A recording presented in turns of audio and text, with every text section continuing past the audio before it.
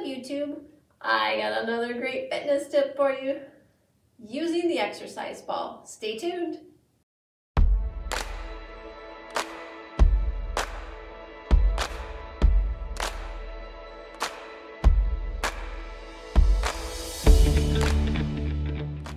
Hey, what's up? Lisa Wolkerstorfer here. Welcome to my channel. I'm a licensed massage therapist, personal trainer, and classical Pilates teacher. Today, we're going to be working with the stability ball to increase your glute strength and open up your hips. So all you need is a fully inflated ball, so let's get busy. Come all the way down on your mat. We're going to start in the first position with the ball underneath your calves. All the way down, spine is down, fingers are down, head is down. The first position is you're just going to inhale, and as you exhale, push your calves into the ball, lift your hips up a straight line from your hip to your ankle, and lower. Now, for all you runners out there, this is a great exercise because you're a quad dominant and you tend to typically have weak glutes. So, if you got a ball, make sure it's fully inflated. Add this to your routine.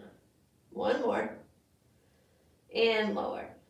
Now, the second position, if you have low back pain, shoulder bridging is the best and safest exercise that you can do to increase your glute strength.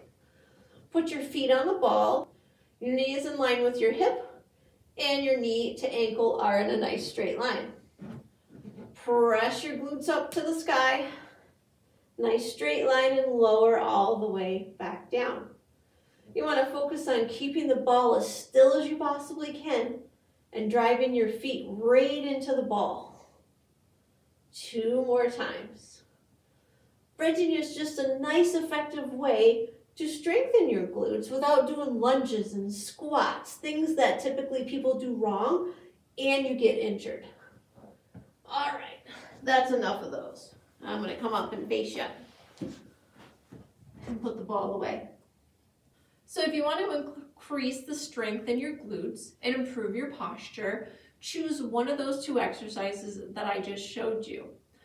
It's a nice, safe, and effective movement other than doing squats, lunges, forward lunges, you name it. And hey, if you like my channel, hit that red subscribe button. You'll be notified when I post new workouts to the channel. We'd love to have you. If you have a comment or question, leave that in the comment box below.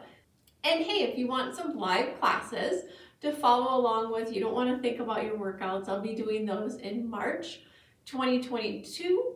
Stability ball HIIT, some foam rolling, some stretching, and classical Pilates, all from the comfort of your own home. Hey, show up in your PJs. I don't care if your hair is a mess or what you're wearing.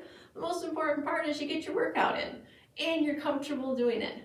So until next time, have a great rest of your day. Bye.